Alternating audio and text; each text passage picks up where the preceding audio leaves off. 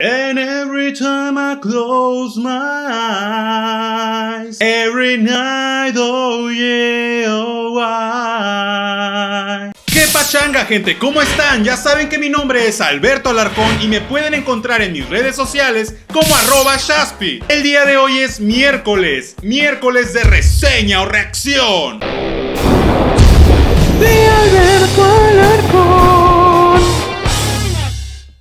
Así es, el día de hoy es miércoles de reseña o reacción y el día de hoy vamos a hablar sobre algo muy bonito y muy coqueto. El día de hoy vamos a hablar sobre una película que se llama 47 Running. Pero como ya saben que nos encanta ponerle títulos innecesarios a las películas aquí en México, pues aquí se llama 47 Running, la leyenda del samurái. Así o más originales. Y pues esta película se estrenó hace más o menos dos semanas. Yo la fui a ver la semana pasada. Y debo decir que la vi en 4DX. Es una película bastante oriental. Digo, casi todos los actores son orientales. Es dirigida por Carl Rinsench. Dios, qué nombre más difícil de pronunciar. Y protagonizada por Keanu Reeves. Y Hiroyuki Sanada, que quién sabe quién sea. Este director es muy poco conocido. No tengo idea de qué otras películas ha hecho. Normalmente les cuento qué películas han hecho los directores, pero de verdad a este no lo conozco. Esta película trata sobre la historia de los 47 Ronin, que al parecer es una leyenda bastante famosa para los orientales. Y ustedes saben que me la vivo en el cine, me encanta ver distintas películas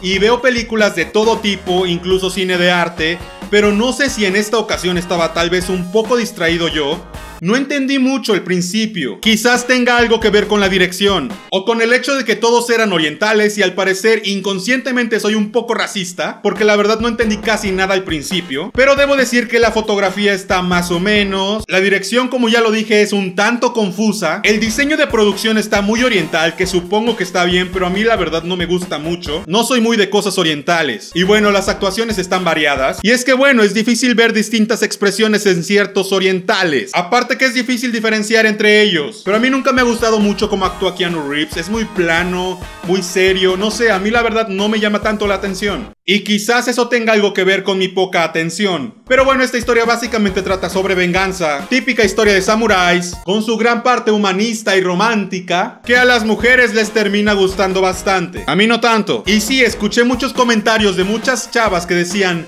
¡Ay, pero qué hermosa historia! No mames, pero eso sí debo añadir que la dirección en las escenas de acción era muy buena. De verdad era muy intensa, cautivadora y más como la vi en 4DX, pues sentí toda la emoción. De repente abusaban un poco de los planos de detalle, ya saben, esas tomas en las que se ve así nada más, pero no me molestaba tanto. Los efectos visuales de postproducción también estaban increíbles. Y bueno, a pesar de que este tipo de cine no es muy de mi agrado, creo que a muchos les puede llegar a gustar bastante. Sobre todo porque aquí en México la gente ama el anime, aunque no sé qué tenga que ver eso. Pero bueno, si te la quieres pasar bien un rato, comiendo palomitas y distraído un buen rato con tanta acción, esta es tu película. Aparte tiene su gran dosis de amor y es un poco meloso. Sin embargo, creo que lo mejor de la película es el final que no es tan predecible. Bueno, es predecible en cierto modo, pero no es tan de cliché. Está bastante fuera de los clichés de los estándares normales de películas.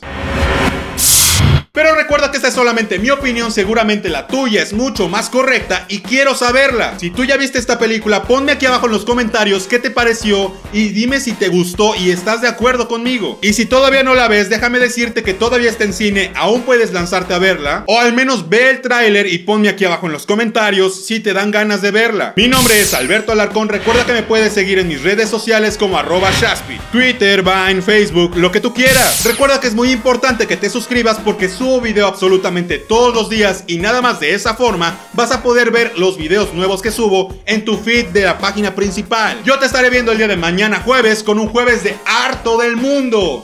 Y nos vemos. ¡Sea! Si quieres suscríbete, si quieres suscríbete, si quieres suscríbete, ponlo en tu Facebook.